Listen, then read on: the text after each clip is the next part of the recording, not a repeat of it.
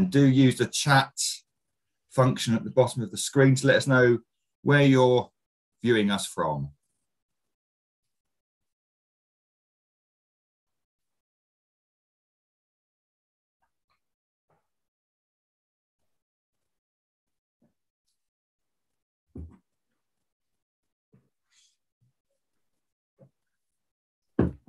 Canada. Wow, the stakes are already high. Nova Scotia in Canada. We have York, Brighton. Do let us know.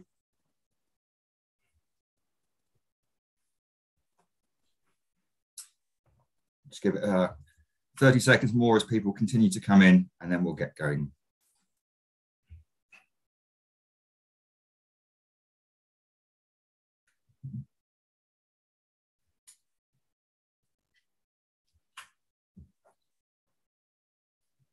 Great. Well, good to welcome you all again to the first of our lunchtime seminars on mixing religion and politics. My name is Nick Spencer and I'm Senior Fellow at Theos. It's great to have you here. Theos, many of you will know, is a Christian think tank and we exist to tell a better story a better story about faith in general and Christianity specifically in contemporary public life. One of the reasons, perhaps the main reason, why people are antipathetic to religion in general and religion in public life in particular is that they fear what happens when religion and politics meet. And let's be honest, there are more than one or two historical examples to justify that fear. In all fairness, the 20th century has shown that atheism has not got much of a better record in this department, but it is nonetheless religion that seems to need to justify itself here. And so it's important not only to talk about this subject, but to show how the mixing of religion and politics has been and can be intelligent, thoughtful, constructive, and above all, humanistic in the truest sense of that word. Over the next three weeks, we'll be exploring this mixture of religion and politics, looking at democratic pluralism, the idea of justice, and starting this week with the common good with Professor Anna Rowlands. Before I introduce Anna and the topic more fully, a little bit of housekeeping. The seminar, as you know, will last for an hour, and we promise to stop hard at 1.30. After I've introduced Anna, she'll talk for 15 minutes or so, after which she and I will have a short conversation before taking questions and comments from our virtual floor. The chat box will be turned off shortly, but um, and be reopened uh, as we close. But if you do want to ask a question, could I ask you to put it in the Q&A section at the bottom of your screen? And then Anna and I will be able to see it. And if we get a lot, as I suspect we will, we'll try and, or I will try and collate them, draw them together and ask kind of groups of questions or groups of similar questions all at the same time so we get as many different questions and comments as possible. Just a little tip for any of you who do want to ask a question, if possible, please keep it short. Um, it's just so much easier as a chair to read and digest shorter questions when you're getting a lot coming in, and basically you're much more likely to have a question asked if it is short and pithy. Um, we are um, live streaming on YouTube as well as Zoom, but we're only taking questions from people who are on Zoom. Um, but um, although the seminar is not being recorded on Zoom, you will be able to watch it again on YouTube. And so to our speaker, Dr. Anna Rowlands is the St. Hilda Professor of Catholic Social Thought and Practice in the Department of Theology and Religion at Durham University and a member of the Centre for Catholic Studies. She is a political theologian and works on Catholic social teaching, Anglican social theology, religion and forced migration, and the politics of the common good, and the social philosophies of Hannah Arendt, Simone Weil, and Gillian Rose. She's most recently the author of The Politics of Communion, Catholic Social Teaching in Dark Times, which I would strongly encourage you to read and will be advertised again at the end of our session with a promotion code. Um, perhaps most importantly in all this, um, Anna happened to be one of my examiners during my Viva. So in many ways, this is an opportunity for payback as well as for education. Anna, it's great to have you with us. The floor is yours. Thank you, Nick, and thank you um, for to the team at Theos for organising this. And most importantly, it's great to see a range of people in the comment uh, chat box that I already uh, know. So hi to those people, and great to see lots of people who I haven't had contact with before as well. Um, so thank you for giving up your lunchtime to think about the common good together. And that's the idea. So I am going to talk for sort of 10, 15 minutes, and I'm going to offer a kind of position statement um, which is to be responded to. And the whole point is to have together a common good conversation about the topic of the common good. So here goes my um, kind of input that's meant to stimulate thought, critique, comment, and conversation between us in a shared task. In his 2009 Reith Lectures, the public philosopher Michael Sandel offered a compelling defense of the idea of the common good. Sandel is one of the number of thinkers and political actors who've appealed for the return of the common good to our public life. From East, sorry, from European left-wing populism to the UK Green Party to conservative populism in Hungary and Poland, a putative buried idea has risen, but interestingly, without much agreement on what it might actually mean. In fact, quite often with quite opposing meanings attached. In his final Reith lecture, Sandel painted a vivid picture. Over half a century, he says, we've drifted in our public life from civic virtue and solidarity traditions of citizenship towards the idea that you and I are basically consumer citizens. Sandel thinks we've refashioned education, health, governance, and indeed democracy itself in this way. We haven't done this just because the market came to dominate everything and we had no choice. He thinks that's too lazy an answer.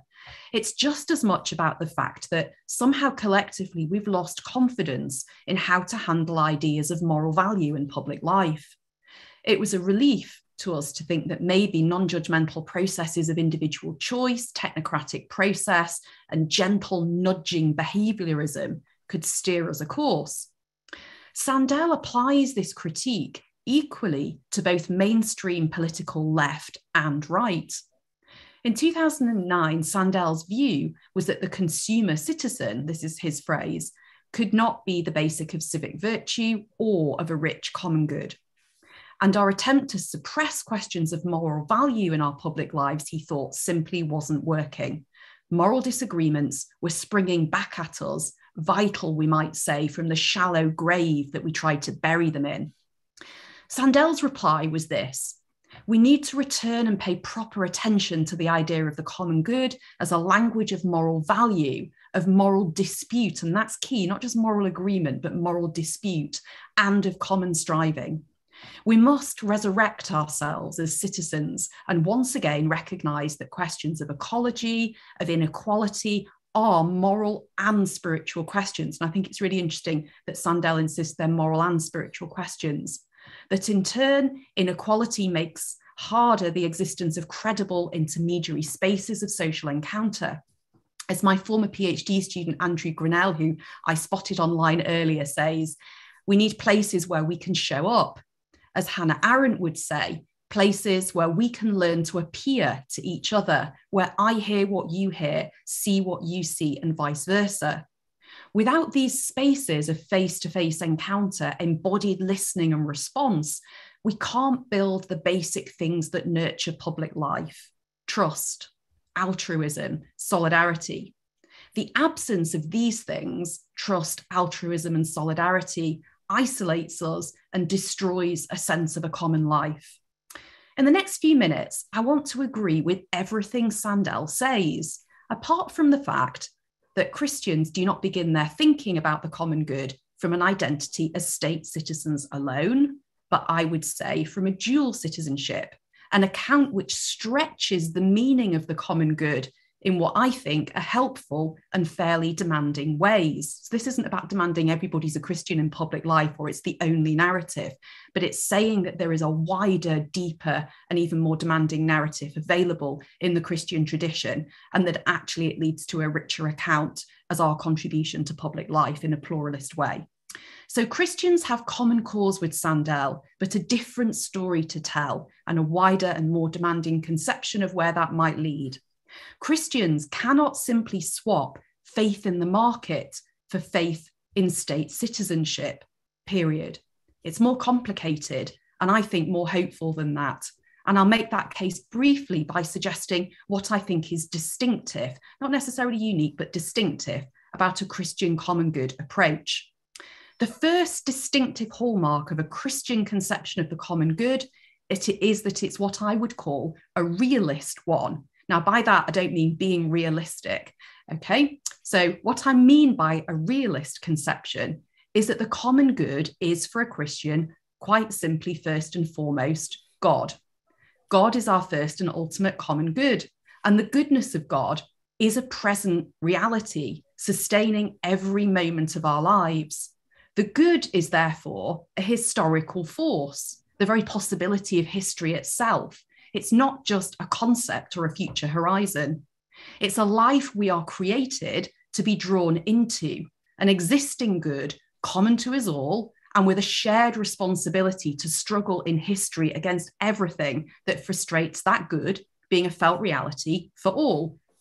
Now, this has the advantage of meaning that the common good isn't grounded in our actions alone, nor is it lost entirely when we fail, even if we fail for a whole generation. This realist foundation is what holds open the future in the grimmest of the present and means that we can face it with some real, not some false or cheap hope.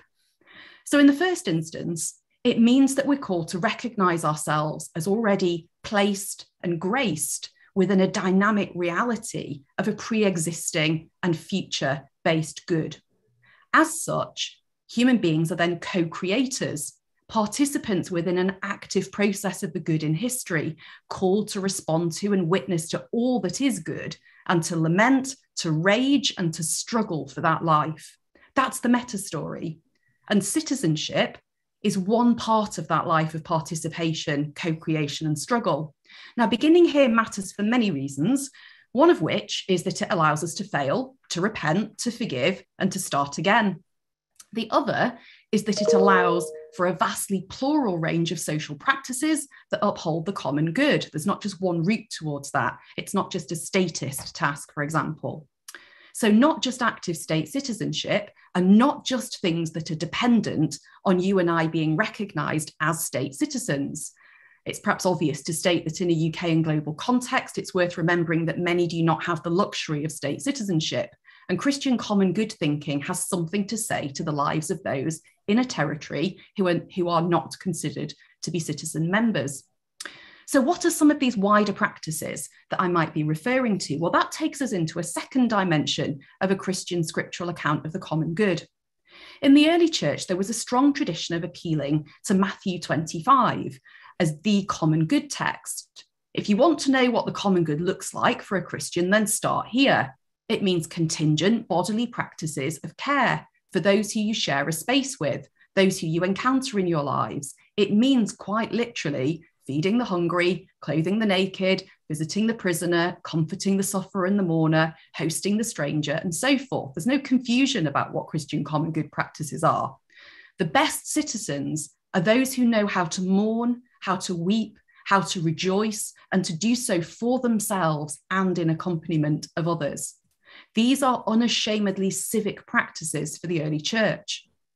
Equally emphasized is a duty to ensure, as Psalm 24 has it, that the goods of the earth are distributed to all justly.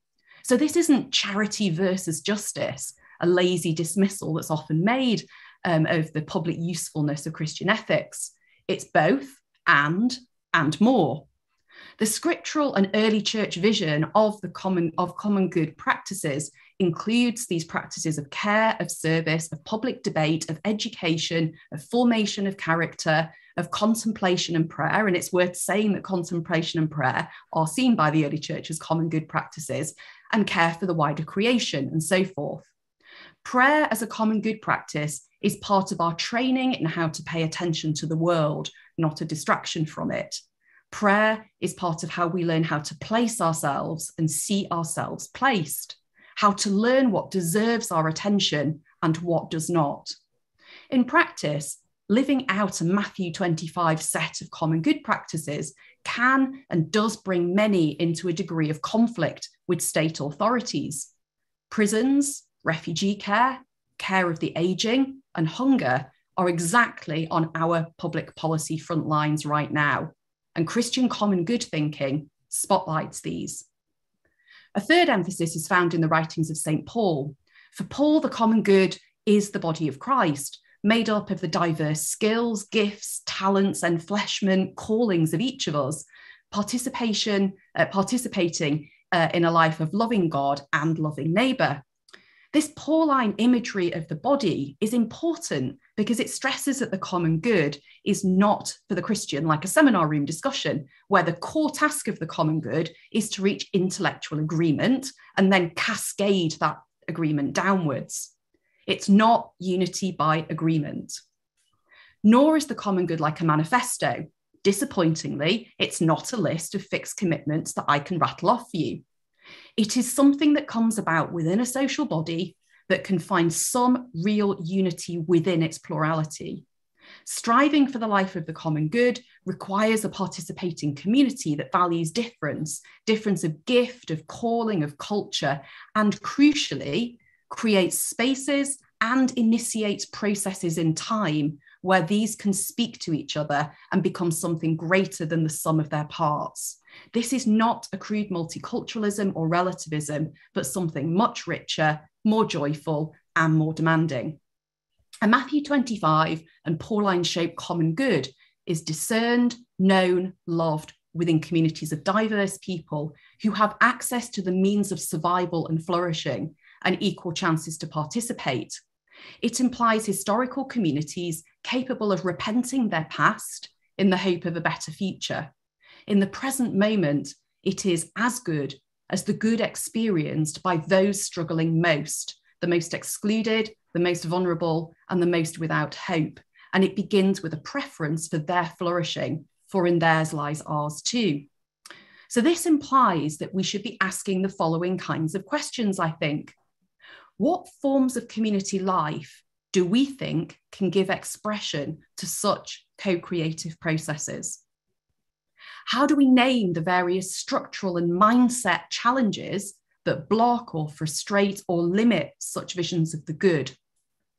What do we believe are the enduring forms of power, of violence, of force, of dispossession, of need, of manufactured vulnerability and hopelessness that are expressions of the lack, suppression, and refusal of the common good in our midst. What practical processes in public policy and at grassroots levels can open a space for institutional renewal beyond the consumer citizen logic, but also beyond the state citizen logic too? A final footnote Pope Francis, operating from that realist mindset, reminds us that we should assume that the common good is already alive and probably in places we might not expect, but that it needs networks of connection, as Sister Margaret Atkins puts it, a trellis structure to grow and connect from healthy roots outwards and upwards. Pope Francis has also talked about being brave enough to name the fact that striving for the common good means a willingness to face suffering and walk the costly path of accompaniment there is no renewal of solidarity and trust without that. Only then do we really get to a place beyond the consumer citizen model, beyond relationships of mere supply and demand, into the deepest places of human freedom. Michael Sandel does glimpse this too, I think, when he says towards the end of his Reith lectures that the basic things that build the common good and strengthen the common good are not finite resources that can be used up, but things that multiply with nurture and with practice. The conditions for the nurture of these is where the moral conversations across and between traditions, I think needs to lie. Thank you. Anna, thank you ever so much indeed. Uh, as I knew there would be an awful lot there, um, very rich, quite demanding. Um, we've got a few questions in already, so this is an opportunity for you uh, to um, pop your questions into the Q&A box at the bottom of your screen. Um, whilst Anna and I are having a conversation here, we'll try and collate um, and I'll put them to Anna in our last half hour. But I want to take the chair's prerogative, as it were, and just um, fire a few questions um, of my own. Before we get on to the kind of the substance of the common good, I want to pick up on one of the lines you mentioned early on about how we have lost confidence in how to handle ideas of moral value in public. I think that was one of Sandel's lines. I suspect, what's his question? You would agree with it. Why? Where has it gone? Why are we so anxious about moral conversations in politics today?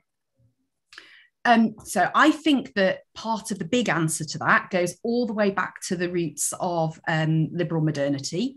Um, and if you think about a great text of the philosophical tradition like Thomas Hobbes's Leviathan, right back in the context of the English Civil War and the kind of politics that flow out of that, um, you have this sense that if you bring big questions of moral disagreement, the big value questions of the good life into public debate and into politics, it results in a kind of violence. So what happens is you get the more that you bring the big questions into a political frame and into a public frame of reference, the more you end up potentially with a very, very frayed and frazzled social contract. You end up with a massive problem um, of simply competing visions of the good life, and that drives a kind of violence. And what we all deeply long for deep down is peace. We just want a peaceful life. And peaceful life means that you privatize those big questions. And what you do in the public space is you aggregate forms of self interest and you work out, you bottom out to the most basic forms of self interest that we can negotiate together. And for Hobbes, obviously, this is the fear of death. Um, he doesn't think we're inherently violent. And I think this is often a, a misportrayal of his work. He thinks that we're basically diffident as human beings. So I'm a bit scared that you might not have my interests at heart. You might attack me. And so, out of diffident fear, I get in there first. Um, so, actually, it's diffidence rather than just inherent violence that drives us as human beings. And I think his vision of public life flows out from that belief in our ultimate diffidence as human beings um, that drives forms of social conflict. So I think that's part of the meta story that we told ourselves that if we do this, it leads to violence and that we cannot base a social contract on that. And the best thing to do is privatize those questions um, and instead have a public space built on forms of negotiated self interest. Now, interestingly, Hobbes's answer was also um, to have a very authoritarian figure who resolved the big questions and disputes, hence the Leviathan of the title. So, in a sense, he pushes into a private space those moral questions and creates an ultimate decider, an ultimate arbiter who gets to decide over matters of belief um, as well as matters of, of just kind of uh, general public life. Now, obviously, that model, as liberalism went on, uh, fragmented, and there were many different versions of how we might do that. But I think Hobbes is a key moment precisely because he expresses that dilemma, and and there flows from that, I think, an assumption that we don't easily do this in public life, and that we need to find ways to contain that process, ideally to limit it, and the space of politics becomes one of transaction and negotiated self interest. So, so that makes a, a, lot of sense to me, and actually it picks up on one of the questions that's already been asked about the link between the common good and states somehow pushing out individual rights. I'm, I'm going to park that though because I want to put one other question or more of an observation to you, really, just for you to get to reflect on. Uh, you know, I have a, you know, I think that's by and large correct analysis, and there's a slight allergy or significant allergy about you know, politicians about imposing, I put that word in scare quotes, the, the common good, and therefore, as you say, a move towards um, value neutrality and transactional and consumer citizenship. At the same time, yesterday in Parliament, about 300, year, 300 yards from where I'm sitting at the moment, there was an awful lot of moral language. I mean, yes, laws were being broken, but goodness me, the most powerful speeches were those couched in explicitly moral terms. So, do we overplay the death of morality in political life a bit? Is it is it actually just quite healthy, just not not as well observed? So, my argument would be that on the one hand, we've told ourselves that meta story I was talking about a minute ago that we can't do this well and we should try not to do it. But it's impossible not to do it because it's so hardwired into our nature to do this that it bursts out from the straitjackets that we try to set ourselves. So, what happens is we always moralize in public life. We constantly appeal to moral language because, in the end, we have to. So, the question is how to do this well how not to suppress it, but how to create the right conditions, the right institutions, the right processes that allow this part of our nature that's so important to be expressed and to be expressed for the good. Now, you know, there are many, you and I both know there are many, many versions of answers to how you begin to do that. Um, and that immediately brings a whole other series of contested questions into play. But nonetheless, the example of Parliament yesterday is exactly right. We do this anyway. It leaks out from around the sides and it's hardwired in our nature to do it. So, yes, we overplay the idea of the death of morality. The problem is that it often happens in fractured and fragmented forms, escaping from the sides of processes rather than being actually part of the mainstream process itself. Mm. It reminds me of something John Gray once said in a uh, column about how the Victorians tried to pre- pretend that sex didn't exist and ended up yeah. doing absurd things like covering covering the legs of tables. Yeah. Of course, it emerges. That's um, right. his argument was that faith emerges even in quote unquote yeah, faithless eras, and morality is basically a similar point you're making, isn't it? Yeah, absolutely right. Yeah, yeah. Let me pick up on one of the questions that's been asked then about the link between um, historically between a conception of the common good and um, collectivism. The, the, person asking the question uh, phrased it, and the way in which sometimes in the 20th century, states used moral arguments, collective arguments, common good arguments to override the uh, rights of citizens, and how you know there's quite a substantial body of um, social scientific research, and the questioner mentions one example of this: how, for example, societies are secured and and their, their wealth and their well-being is enabled by, for example, the securing of property rights and individual liberties. We're talking about the common good it's got a bit of a halo here. Has it sometimes, are we, are, are we being a bit naive, a bit innocent about what the common good is capable of doing? So, one of the things that I try and do in the book is I try and make a distinction between the sort of historical moral performance of the idea of the common good, which is exactly as your questioner and, and, and you're indicating. That's something that we can trace historically. And the 20th century is a brilliant case study for the fairly poor moral performance in politics of the idea of the common good. And that um, refers to everything from um, common good language used by forms of collectivist um, politics. It also is used by various forms of fascist and totalitarian regimes of the right um, as well. So there's kind of right and left collectivism, if you can think about it in those terms. And it's also there in a resurgent fashion um, in forms of um, conservative populism right now as well. And it emerges, one of the things that I think is in common um, with those approaches and, and is therefore a warning sign of the common good used, I think, in an unhelpful way, is that they tend to be theory, strongly focused on theories of natural order, that there is a natural order, there is a discernible common good that we can simply lock down and foreclose, and that that can be imposed um, as a kind of agreed manifesto on people. And I think those kind of um, theories of natural order, um, political invocations of the common good um, are often deep dangerous and damaging. But the common good itself is, is language that has been invoked by every different political persuasion um, across the board, uh, both historically through the 20th century and right now in its resurgent forms. And it really does mean vastly different things in different contexts.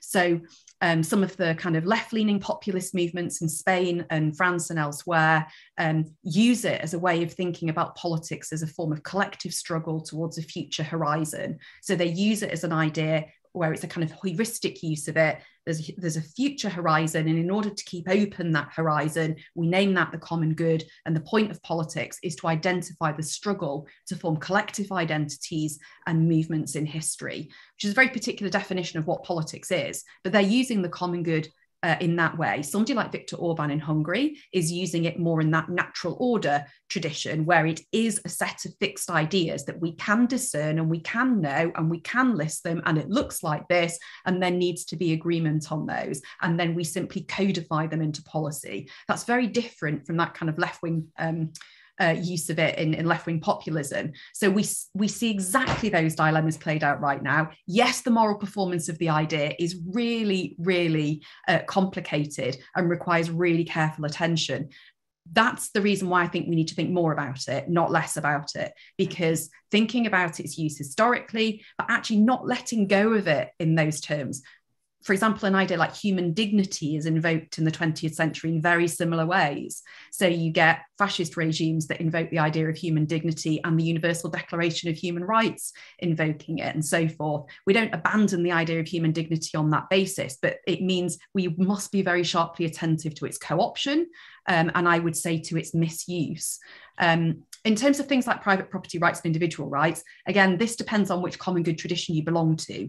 Um, most of the mainstream Christian traditions of the of thinking about the common good acknowledge some relative right to private property and individual liberties, um, but they don't see that as absolute. So that's an interesting ground for kind of teasing out further discussion in itself. And there's a move in contemporary political theology now to re-emphasizing what belongs to the commons as part of the common good and a whole tradition of the necessity of rethinking the commons. Um, so all those big questions about uh, what what kind of collective uh, reality we uh, wish to inhabit, how property and ownership relates to that, the distribution of goods, those are thrown wide open right now in the social space that we inhabit. Personally, I think that's a good thing that these are now massively contended ideas because I think they absolutely need to be contended again. Mm. You're highlighting then about the um, distinction, as it were, between um, the conception of the common good as fixed, um, as part of the natural order, uh, versus a common good which um, is focused on processes or, or, or certainly integrates processes. Um, reminds me of, I think it's a bit in your book, certainly in an earlier conversation we've had, about your own particular common good experience in a pub in was it Newcastle or Sunderland? No, in Sunderland. Sunderland, yeah. beg your pardon. Yeah. Just briefly tell us what happened there because I think that was a, a lovely and quite kind of uh, humane example of what a, a, common good practice can look like in reality. Yeah. yeah. well, I mean, it has to be said this this was not intentionally designed as a common good yes. process. It's like the accidents of history um, I was invited by a local um, Catholic church in Sunderland to give a talk in a pub on a Sunday evening, and they very impressively have a series of um, sort of theology talks in in a pub in the centre of Newcastle, uh, sorry, in the centre of Sunderland on a Sunday evening. Now, when I was invited to do this, I assumed they'd booked an upstairs room quietly in the pub. Um, and I arrived on the evening to discover that, in fact, there was just a microphone at the end of the bar with a huge screen above the microphone blaring out Britain's Got Talent. This was about two weeks before the Brexit referendum, and just an ordinary crowd of Sunday evening drinkers in the centre of Sunderland. Anyway, inflowed the parishioners from the local parish inflowed um, a group from a local Iranian church um, that had been meeting and various others who'd heard that there was a talk that was going to touch on Pope Francis and migration. So anyway, I hastily, oh, and I had a busker as my warm-up act. So that was the other kind of, I've never had a busker as a what he was absolutely brilliant. He was raising money to go off and live in Australia. Anyway, um, so I had a busker as my warm-up act. I quickly realized that I needed to tear up the piece of paper I had my written talk on and find a way to catch people's attention. So I uh, talked for about 20 minutes and then I said to people, but question and answer is not going to work. So I said, look, what I hear constantly is that there is a kind of deafness in politics where Westminster politicians, etc., refuse to talk about the issues that really matter and we're incapable of having conversations at a level that touches on the things that really matter to people. So, my suggestion is that instead of question and answer, we have a common good conversation. And the rules for the common good conversation are you can talk about the things in your life, in your community, in your neighborhood that you aspire to as gen- genuine goods. What are the things you want in your life and why are they good for you? Everybody else is required to listen and everybody has a chance to speak. You may not criticize or blame anybody else, but you can express anger, loss, um, frustration, um, but you just can't blame that this is not a context for blame and we'll listen politely to each other. And um, although this was never set up as a kind of designed process, as it were, what flowed was a brilliant conversation in which people talked about the absolutely basic things that they thought made a decent, dignified life, neighborhoods in which people know each other, decent and meaningful work, an ability to not have to be socially mobile, um, to stay where you have networks and families and landscape that you feel you belong in, or to travel the world and experience different cultures and meet other people and learn from them. And people exchanged their experiences of those different visions of the good, and they listened and they responded. Um, and actually, um, people disagreed wildly, but actually, um, there was an experience of people in the room listening. So I don't want to over sort of turn it into yeah. some perfect experience because it wasn't, and it was certainly totally unplanned but actually that capacity to talk about basic moral things that matter to people in the fiber of their lives um, and not to do that in in such a kind of policy want way that we yeah. miss the basic orientations of those goods Thank you. Um, let me ask a completely different question. Actually, a few questions that have come in. I'm going to group, group a couple of them together. Um, one question from David How do you respond to Miroslav Volf's idea that work in the spirit is cooperation with God in the renewal of creation. And another question from um, date 1945. You have used the term co create a couple of times. Could you elaborate? So I think there are questions about what you mean by co creation and what that might look like theologically. Yeah. Um, so yes, I'm. I mean, I'm happy with um, Volf's um, uh, description of, of of that process. And I think that the idea that the spirit is at work in history and what we do is we cooperate with that um, reality through a radical openness and receptiveness in our own spirit. If I'd had longer, and I do talk about this in the book, um, one of the things that I argue is a really distinctive hallmark of a Christian approach to the common good for a Christian, it's not to impose it um, on anybody else, is the sense that the first um, thing that happens in a common good process is one of reception rather than action. And Rowan Williams talks powerfully about this. So, the first thing we do as Christians is we receive. It's a receptive movement rather than a kind of um, imposing one. And, and what we are receiving is the life of the Spirit and an openness um, to um, a Trinitarian God. So, in receiving, then there is an exchange of gift. Um, Josef Pieper, um, he's a 20th century German speaking um, Catholic philosopher, um, talks beautifully about distinguishing between the world. And by the way, I do have some problems with this, but um, I'll just set it out for a moment. Um, distinguishing between the world of common need, where we meet basic needs for food and shelter and survival, and we all have those basic common needs, and they all absolutely should be met. And then what he sees as the world of the common good, which he wants to distinguish from common need. And he says the world of the common good is that space of call and response it's that space beyond mere need, beyond mere transaction, beyond supply and demand. And when we turn everything just into a logic of supply and demand or common need, we forget about this life that exceeds that, the life that actually brings us joy, where we most express and encounter our freedom. And that is this co creative space. Because there's something, he talks about this is the space in which we pierce the dome. This is the space where there's something of transcendence that we touch. Um, and, and that's the space of the common good that we need to be able to think about. That's the co creative space where something is happening in human freedom in response to the call of a divine creator. And something happens in history um, in that moment. And, and that I think is powerful and beautiful, um, richly theological, and we need to be able to talk about that. Thank you. I have got a question from Sharon. Prayer as a common good practice. Do you think that religious ritual can be an activist tool in the public or political sphere? Yeah, absolutely. Um, I mean, if you think about, um, I mean, I do quite a lot of work on migration, and one of the most striking images of recent years um, is um, the Eucharist being celebrated across the US Mexico border. Um, with um, a communion table, an altar on either side of the division wall, um, and uh, communion being shared through uh, the, the, the, gaps in the fences. Um, religious ritual um, has a way of expressing our fundamental unity, our co belonging, and demanding a world um, that is revolutionized towards the practices of the kingdom.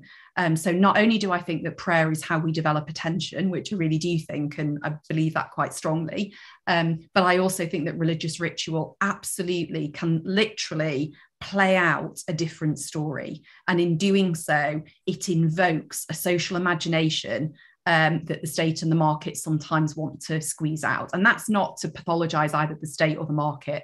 Um, I believe we need systems of exchange, and I also believe we need systems of governance. Um, but both of them have tendencies that, that will uh, break down much of that richer um, world that a Christian narrative is opening to us. Thank you. A question from Kathy Will you say more on the connection between reconciliation, the common good, and totality of relationships. And I guess reconciliation, at least my, my reading of it, is kind of the, the, the key word in that question the connection between reconciliation, common good, and relationships. Um, is there a specific? I'm well, I'll tell you what, I'll pop that. I'll, let, I'll, let, Kathy, I'll let Kathy to jump in on the chat to maybe to clarify that question. Or what, or, yeah, yeah, yeah. Because I'm. We'll, I mean, we'll come back to it. Kathy, if you're, if you're sure there, give us just generally. a tiny bit more detail. I want to ask yeah. a question. Well, um, I was going to ask a question actually in our initial conversation about the almost, well, but this is slightly tongue in cheek, inverse correlation between the popularity of the common good and its precision um, and the way that it is so wonderfully kind of celebrated precisely because we can't we can't pin it down. Um, and that kind of is in the same vein as a, a, question here from my former colleague Ben Ryan. He said, as a quick look at Hansard shows common good has been used 4,427 times in just the last five years. I can testify to that. I once had a Hansard alert set up for common good and I had to turn it off because it was just turned out all the time, all the time. But he goes on to say only a handful use it in the way that Catholic social teaching does. Is the term just too buried in other, particularly utilitarian conceptions to be helpful in some conversations? So this is back to this presenting questions. We're all talking about the common good, um, but we're not all necessarily talking about the same idea of the common good. Yeah, um, I'll make an unlikely response first, which is I do think that Christians can't claim to own the language of the common good. Um, we use it, but we did not use it first, and it exists already within a plural and contested register before Christians ever came on the scene to use the idea. Um, and we adopt it. Um, and we Christianize it in the ways that I've described. And I think that Christianization process is interesting because it is it is changed in the light of the event of Jesus Christ and its meaning changes in that light, hence the Matthew 25 text, etc. So I don't think we can expect that only a Christian or a Catholic social teaching usage or whatever would occur in our public life. That's just the first thing. However, I absolutely agree that, of course, it's used to mean an endless variety of things. But I want to say two things about that. One is that makes Sandel's point really clearly. It, it is still used and invoked, even if in infuriatingly vague ways, because the language is powerful. There's power in the phrase. And so that that actually gives me some hope, the fact that it would continue to be used even when some of the associations are fragmented or broken down. Um, so, so I think that's important. The second thing to say is, though, I agree with Ben that often the usages of it are primarily utilitarian, or they simply really stand for something like the national economic interest. And I did a lot of work tracing through common good in speech in political speeches um, in the UK and the US, um, so in the kind of Anglosphere, and most often, the common good simply meant something along the lines of um, um, uh, the national economic interest. That is not what a broader understanding of the common good, and most definitely not what a Christian understanding of the common good could boil down to. So, there is a process of needing to thicken our own understanding of it and to enter that plural space and to contest it on our own grounds. But I don't think everybody should necessarily be expected to speak as we do. And I have no problem with the plurality of meanings. Um, I think Christians need to learn how to hold their own in that space, and that requires a literacy in our own traditions. That interesting. That answer reminds me a little of a question I was asked a few years ago when I wrote a book on how the parable of the Good Samaritan has been used in mm, British and American yeah, yeah. public discourse for, for many, many years and used by everyone from Jeremy Corbyn to Margaret Thatcher and used in some radically different ways. And people yeah. pointed out in a similar way, well, what content does it have if it's used so broadly? And in many sense, you know, the content is very elastic. But my answer, which was similar to yours there, is that at least it's there. And and it keeps the space open. It keeps the space open whereby you know we can continue to have these very important ethical conversations without pretending that you know the market and the state is sufficient. Uh, let me ask a question from Ruth. How can people who are invisible, shut away in homes, residential homes, care homes, prisons, and other public spaces, thinking especially of disabled people, including children and young adults, contribute to the common good? Um, well, uh, one of the first things I would say is, and this is why I use the Pope Francis material at the end, um, there isn't simply a common good out there um, that they have to contribute to, as it were. Um, I think that very often people in those situations are precisely already um, enacting a logic of the common good, invisible to us, but visible in their own context. And I'll give just a very kind of practical example of what I mean by that. Um, I did some work with the Jesuit Refugee Service a couple of years ago, interviewing people who had been um, uh, asylum seekers in the system, so seeking asylum, um, and who had been in immigration detention facilities. And people would t- were, were describing to me the absolute damage and trauma of being in immigration detention facilities. What they also were telling me were stories of how they had acted for the care of other de- detainees and how other detainees had acted for their care how they had saved the lives of other detainees, how extraordinary community had been formed around chapels inside immigration detention facilities and so forth. There was an enacting on a micro scale in the most limited and traumatic of circumstances of an ethic of the common good that frankly would challenge me in terms of my own um, experience of that in an everyday sense. So I think this is precisely what Pope Francis means when he says, look for the common good already present in those contexts and the way in which people, particularly in the most liminal and sometimes the most impoverished situations, are already creating that life because they know best often how to. They are most expert in the conditions of solidarity and mutual support. And again, in my wider refugee work, refugees support other refugees. The networks of survival are about the social capital that refugees build amongst themselves. So I think very often the common good is already in those contexts. Where there is a gap is between centres of power and those peripheries. And the question is how, and this is why I was using the trellis analogy that Margaret Atkins uses how do you connect those green shoots of true common good practices to the central sources that are so powerful in determining our everyday existences? How, how do you renew those structures and how are those voices, which I think is exactly where I would agree with the logic of the questioner of Ruth, how do those um, people inform and have their voices heard as experts by experience, um, often both in the lack of the common good in a structured and systematic way, but also the presence of solidarity and meaning making and what's most necessary. How do those voices connect? And we don't, we lack, and Rowan Williams talks about this profoundly, we lack the intermediate spaces necessary for the connecting of those voices and processes. So it's not just about the absence of an idea or getting the idea right in some ideal construction. This is about practical processes. Um, and what we lack are the context, the spaces, um, the processes in time that allow us to make those connections and for renewal to really flow from the grassroots. I mean, just building on that, there is an enormous emphasis in political rhetoric around listening and no politician worth his or her salt will ever you know send anything other than they are listening i mean we, we heard that yesterday and we, have heard that in many other conditions as well i'm not going back to the Sue Gray report i'm going to leave that alone but listening is very important you, and you've talked about listening but what you seem to be saying is that that isn't enough that that's a kind of i don't want to put words into your mouth so correct me that's more of a kind of an ad hoc stance whereas we need more rigorous processes and reliable independent structures whereby that listening can be dug deep into the channels of power. Is that fair? Yeah, absolutely. I think that we need ways to hardwire the experiences of people who are most dependent on those state structures and processes, for example, to hardwire their experiences into the very way that those systems are designed and executed. And when that doesn't happen, you end up with perverse systems that serve nobody. Um, the current immigration system is a good example of that. The current welfare system is a good example of that. Um, current practices around care for the elderly. I mean, there are so many examples of the perversity of public policy um, around areas where the most far, most marginal and most vulnerable are placed. And very often, and this is why I was quite careful with my language and what I said, vulnerability is not an inherent social condition for many of those groups. Vulnerability is manufactured by the system. Mm. Yes, I noticed that phrase. It's a very telling phrase.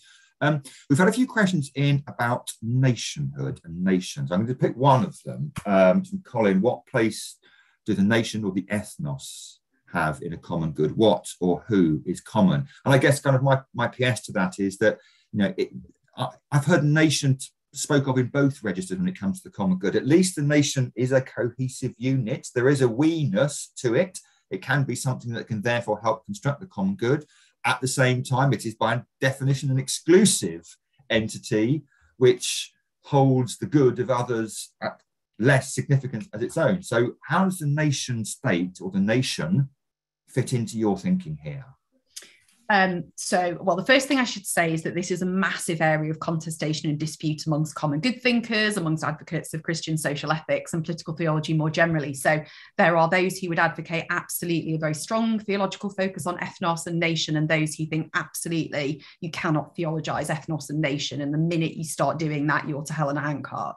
So, um, so just to say that this is massively contested, I suppose the questions I would ask personally uh, run something along these lines. Are we talking about the nation as an idea, or are we invoking the idea of a particular set of bodies in a particular territory? And there used to be an old Roman adage those who are in the territory are of the territory. Now, a territorial focus, so the, on the, a focus on the idea of being placed, and again, that's why I use the language of being placed and being graced in what I um, said before. The idea of being placed in proximity to others, dependent on common systems and structures, where, where we can imagine a kind of collective form of life, that does hold some meaning to me. And I think it's interesting that Pope Francis takes up the idea of, he talks about cultures um, and peoples in the plural. So he tends to pluralize, but you know, it does take that kind of, you know, the lines from the book of Revelation, uh, those from every culture, every people, every tribe, every nation presented before the throne of, of God. There is a sense in which that language is taken up biblically, even into the kind of final times. So it seems to have some significant theological import. But the idea of a single nation, or the nation or the ethnos simply as an idea, or ethnos as a singularity, I think leads us into quite problematic territory. But the idea of something placed, of a group of embodied people from many different traditions and backgrounds um, who share a territory and a place, have a common responsibility to each other, and where that can be meaningful. That is the stuff of the common good, in my view. But that will include people who don't formally have permanent state membership, who are not just fellow citizens. It includes those who share a space, a place, and a time, and meaningfully can be thought of as a collective entity. That I think is fruitful to pursue. Thank you. We're coming into our final few minutes now, and I want our conversation to land in, in a very practical space. So I've got a few questions that have come through that are um, more, more, more um, uh, or less practical. One from Stephen. How has the pandemic brought, or has the pandemic brought any changes relevant to this? reminding us of whatever our political or ideological views we need to deal with in common. Basically, would you have said anything different two years ago for having had this conversation? I think, uh, yeah, I think the pandemic has been the great revealer. I think most of the things that the pandemic has shown us are things that were true beforehand. So they were either processes that were already in play, but we chose to look away from. And the pandemic has just like made them raw and presented them to us as, as just absolute social realities. So the way in which the pandemic has revealed structures of inequality, um, you know, the virus has not affected us all in the same way. We've not all been in the same boat from everything from access to digital um, technology to our housing situation to private spaces um, to vaccine availability. I mean, you know, every form of inequality has been revealed um, in a very barefaced way. But those structures were there beforehand. There's been an intensification and an increased um, visibility to those in a way that makes them, I think, just more apparent. Um, I do think, though, that the fact of the pandemic has revealed to us the myth of the isolated individual chooser, that consumer citizen that Sandel was so keen to uh, dismiss. It's just not how we live. It's not how we're wired. And when the chips are down, um, we need other narratives to help make sense of the way that we live and have to make choices. So I think the pandemic, in that sense, has been the great revealer. It's been a kind of exaggerator of those realities, but it has made plain that there is something common.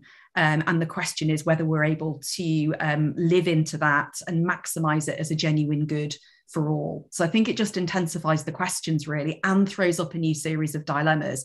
I do think that obviously there are ways in which we um, are probably um, potentially in a more depressing place than we might have been maybe 18 months ago. I think the early phases of the pandemic um, claps for the NHS and a sense of kind of um, convivial communal spirit around the early stages in our own context. Um, I think that's slightly given way um, to something rather different. Um, and the danger is actually we could become quite dispirited. Um, and that, I mean, that's another strand of conversation, but yeah.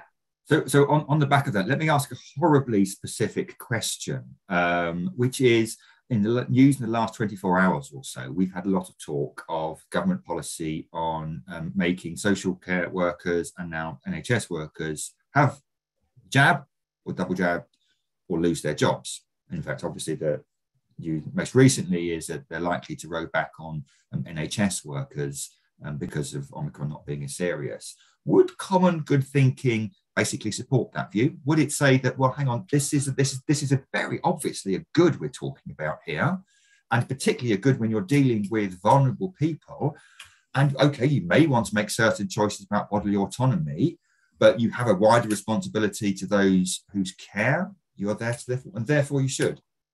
You should be jabbed yeah i mean i don't i never think that there's a straight line between abstract common good thinking and a particular policy outcome i think it requires a mediating community of um, reasoned engagement of moral discourse and debate and i think part of the problem is um, again, where are those communities of encounter that allow for that moral debate in all its sharpness to be had?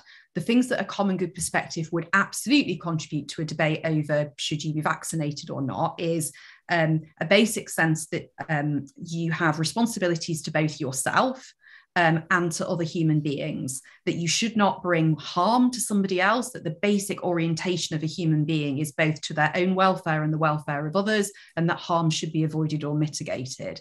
Um, Equally, a common good perspective, I think, would be nervous of the idea that coercive force is the first place that you go to in a in a um, in a social register of trying to build a common life, and that actually a mutual exercise of reasoned freedom um, is a better is a better place to to be in. So there's something gone badly wrong with our process. I think if we are in a position where very quickly we would have to simply use coercive measures in order to encourage people get people to be vaccinated. But absolutely there's a sense of common and mutual responsibility but it's reasoning out what that looks like and it's carrying people with that process ideally through through persuasion and relationship building. And if one of the things that stops people being vaccinated is fear, misinformation, um, a concern that there's already structures of inequality built into vaccine regimes, etc., then those have to be encountered and engaged with. So there's a question about who gets listened to in the common good conversation and process. So there's all sorts of complicated questions about power. Um, that structure that conversation about vaccine um, um, compulsion. So I think it's slightly more complicated than just a straight line between vaccine, you have it done, that's the common good tick. Um, we're almost running out of time, so I'm going to ask one more question, um, which is hoovering up a few of the questions that have come through in the Q&A box. Um, unfortunately, it's quite a big question and you don't have much time to answer it, so I apologise for that. But it's a question about intermediary spaces. From one person asking, so, you know, you work in a university, can universities be intermediary spaces? Or have they become too much instruments of meritocracy, which is obviously one of Michael Sandel's arguments and somebody else's arts more generally? Where are the glimpses of some of these intermediary spaces. So leave us, I'm going to give you 60 seconds, I'm sorry, Anna, on a positive note about where is it working? Where are the intermediary spaces that we might look to where we can see the process of the common good unfolding?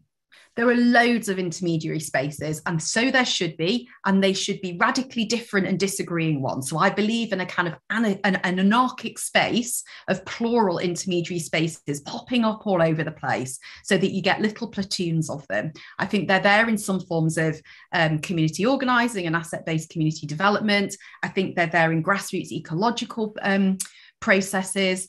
Um, I think they're there in um, uh, in forms of uh, radical activism um, on migration uh, beyond borders. Um, I think that they are there. I, I, mean, universities, I'm not totally sure that they at the moment are brilliant intermediary spaces, if I'm honest. And, and I think there's a radical critique to be made of universities as intermediary spaces. So I won't actually claim my own context as necessarily a great example of that. But I think they're there um, across local communities and spaces. And we simply need to be able to identify them, to nurture them, to learn from what much of what's happening in those contexts, and to build the structures, as I said earlier, outwards and upwards. Go out, look, look for them. They're there in your context. The question is, do you know about them and do they know about you? Thank you very much. That's a lovely, succinct answer. I particularly like the way you managed to weave in anarchic spaces and Burkean little platoons in the same answer, spanning the entirety of the political spectrum. Lovely. Anna, thank you ever so much indeed for giving us your um, time and wisdom over the last hour or so. The book, which will be on the screen shortly, Towards the Politics of Communion. I hope you can see it there. It is, uh, it is food for the mind. Um, and I strongly encourage people to go out and buy and read a copy. Um, do also check out the Theos website for our publications, for other events. If you're so minded to support us in the work we do, we are very grateful for that. Next week's seminar will be with Dr. Jonathan Chaplin on renewing democratic pluralism, same time next week. Um, do book in and join us for that. In the meantime, Thank you very much indeed for joining us. Oh, sorry. Thank you for Anna Wheeler, I've big one who has been masterfully behind Absolutely. the scenes, orchestrating and organising a smooth um, seminar. Anna, thank you very much indeed. But above all, thank you, Anna, for sharing your thoughts with us. And to Nick and everyone who's come. Thank you. Thank you.